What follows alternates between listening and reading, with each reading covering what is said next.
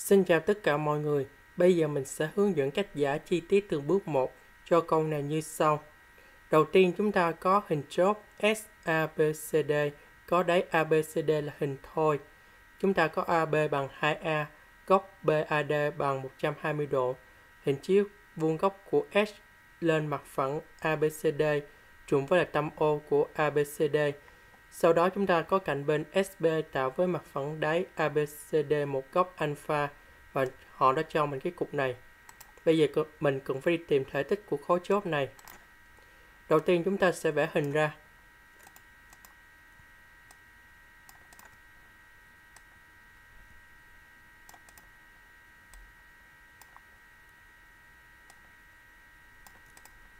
Sau đó chúng ta kẻ hai đường chéo của hình thôi. Từ vị trí này, chúng ta kể lên. Đó chính là đỉnh S.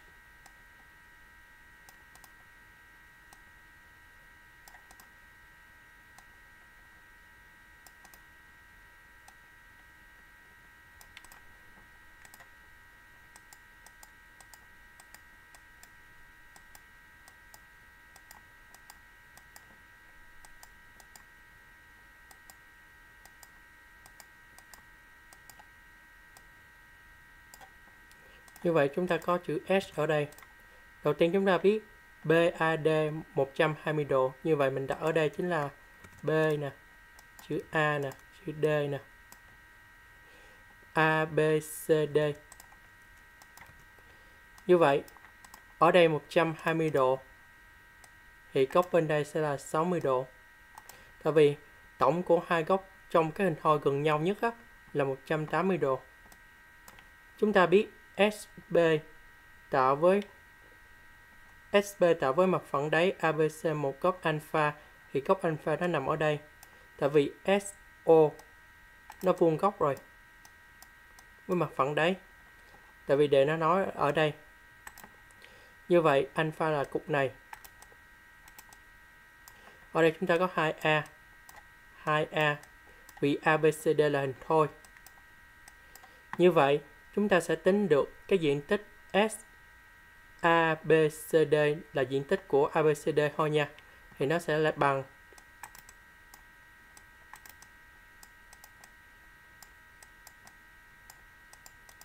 số 2. Tại vì ở đây cái diện tích tam giác của bên đây bằng với lại diện tích của tam giác bên đây. Cho nên chúng ta sẽ có số 2. Chúng ta sẽ nhân với lại 1 phần 2 của AB nhân với lại AD chính là 2A tất cả bình phương. Sau đó chúng ta nhân sin một góc 120 độ.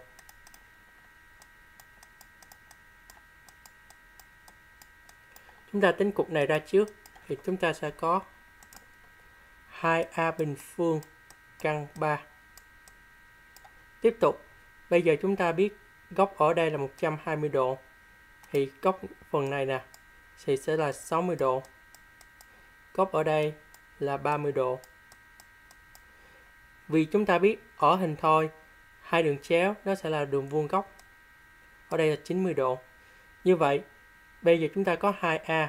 Chúng ta tính cái đường OB để sau đó chúng ta sẽ tính được cái đường OS. Như vậy, ở đây chúng ta có tam giác vuông BOA. Chúng ta có 2A và chúng ta có 30 độ. Như vậy mình sẽ dùng hàm cos 30 độ. Cos là kề, chia cho huyền, cạnh kề ở đây chính là BO. Và cạnh huyền chính là BA. Như vậy trong trường hợp này chúng ta sẽ tính được đoạn BO. Đó chính là BA nhân với lại cos 30 độ.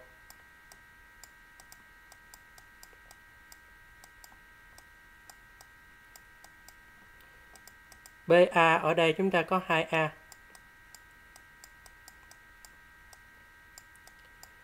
Cos 30 độ là căn 3 chia 2. Như vậy ở đây chính là A căn 3.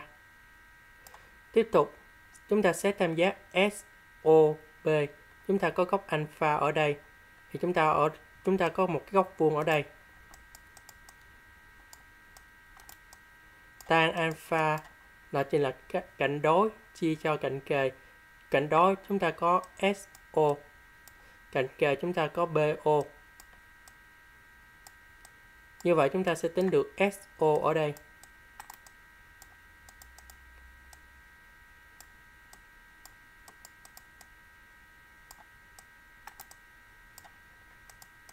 BO thì chúng ta có A căn 3 còn tan alpha để đó cho là căn 2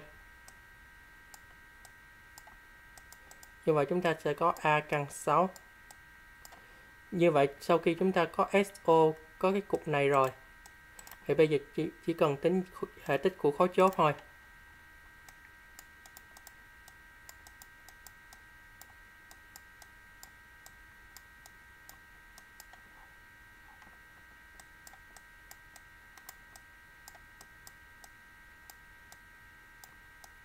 Và đây là đáp án.